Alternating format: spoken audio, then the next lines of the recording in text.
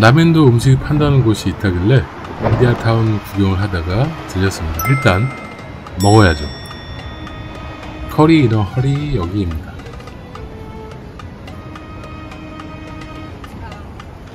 먹고 죽은 귀신 때깔이 좋다는 말이 그냥 나온 말이 아닌 것 같습니다. 여행 중에는 뭔가 많이 먹고 싶지만 또 이것저것 구경하다 보면 막상 시간이 별로 없습니다. 바로바로 바로 눈에 띄면 먹어야 돼요. 고급 레스토랑 아니지만 저렴하면서도 맛있는 곳으로 입소문이 난 곳입니다.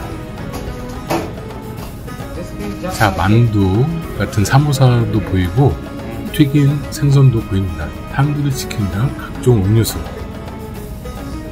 여기는 기사도 많이 나왔던 곳인 듯 합니다. 난이랑 고기가 들어간 사모사, 라면도 피시 커리를 주문했습니다.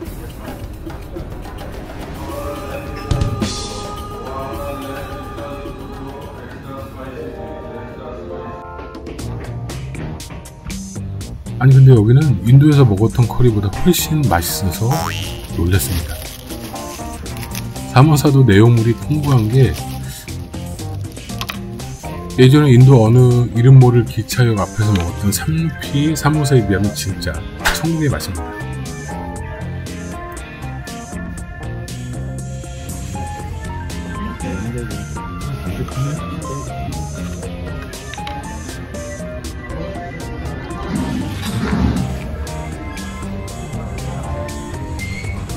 생선 커리도 향이 풍부하게 살아 있으면서 맛있었습니다.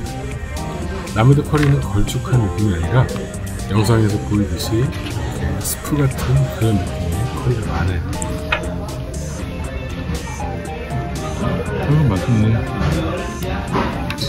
인도애들 상대로 해야 되니 맛있더라고요. 라면도 여행 갔을 때는 음식점에서 맨손으로 먹으면 더 맛있다 그래서 여행 내내 맨손으로 먹었던 기억이 납니다. 왠지 그래서 더 맛있었던 것 같기도 하고 또 아닌 것 같기도 하고 암튼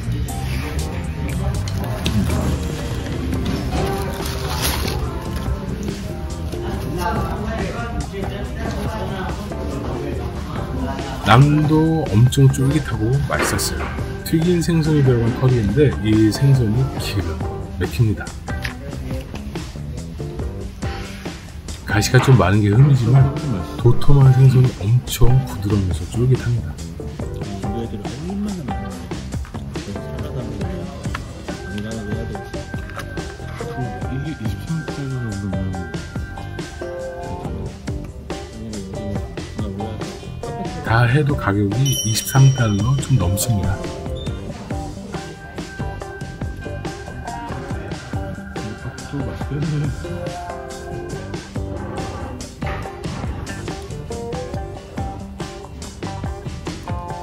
특히 나는 코리에 찍어 먹으면 더 맛있는 거 아시죠?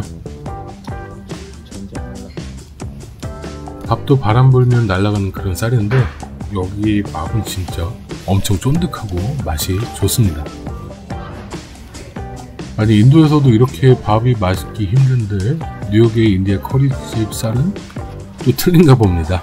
밥마저도 진짜 맛있습니다.